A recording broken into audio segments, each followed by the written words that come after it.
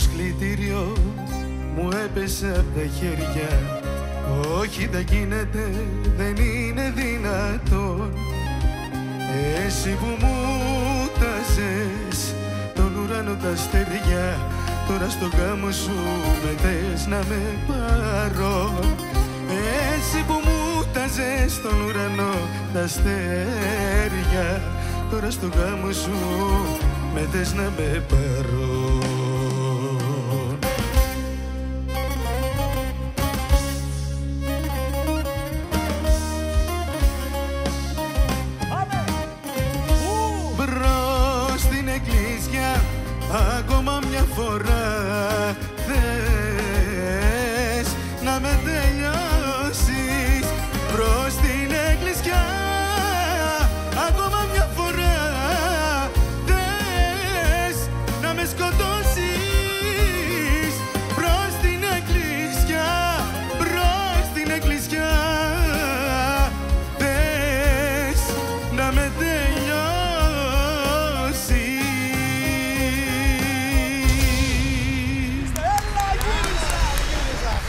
Χαίρετε! Ευχαριστώ.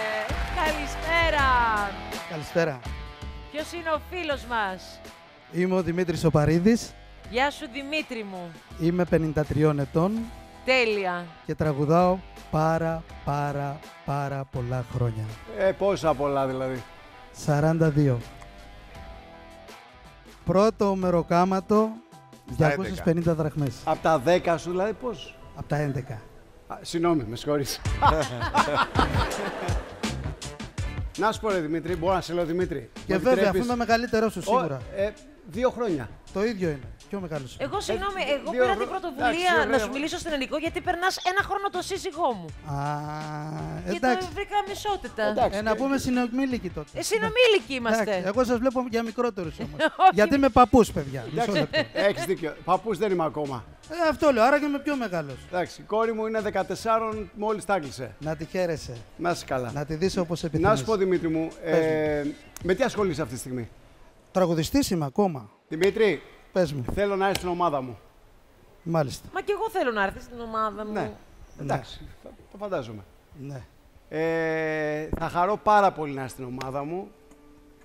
Θέλω να έτσι να τα πούμε, να, να βρούμε ωραία τραγούδια που σου αρέσουν και τα αγαπάς, να τα παρουσιάσουμε και ίσως με λίγο καινούρια προσέγγιση.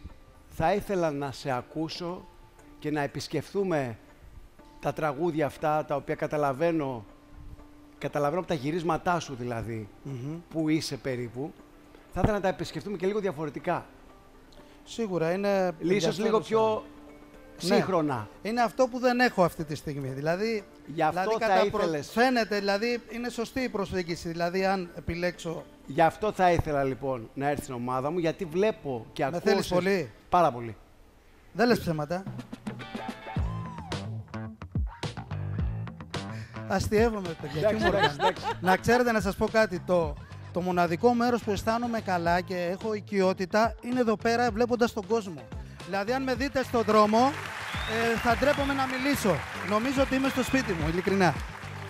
Η αλήθεια είναι, Δημήτρη, ότι τα είπε τόσο ωραίο ο Σάκης που τον ζήλεψα τώρα, γιατί ακριβώς τα ίδια πράγματα νιώθω.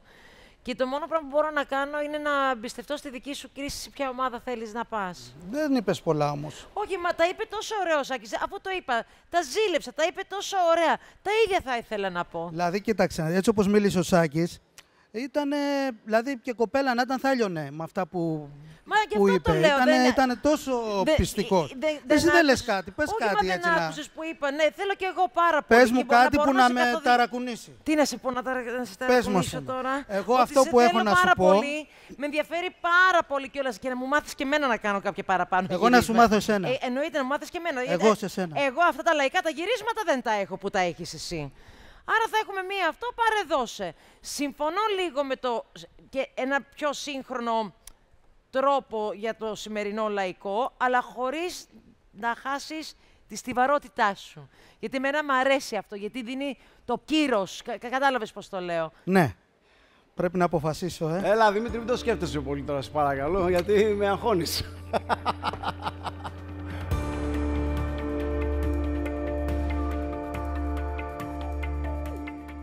Λοιπόν, ε, την απόφασή μου την πήρα.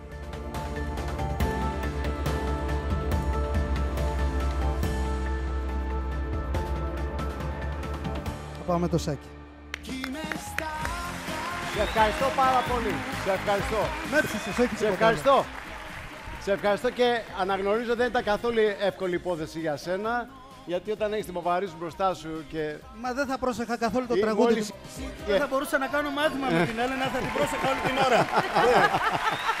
Ευχαριστώ, ευχαριστώ. Να είσαι καλά, Δημήτρη. Γεια. Γεια, γεια.